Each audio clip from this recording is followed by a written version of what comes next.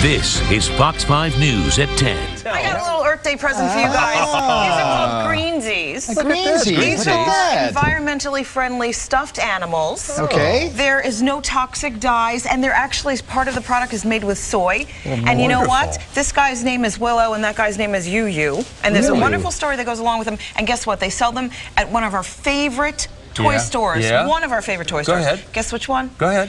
FAO Schwarz. FAO Schwarz. You know how much we love that store. Uh, yes, we do.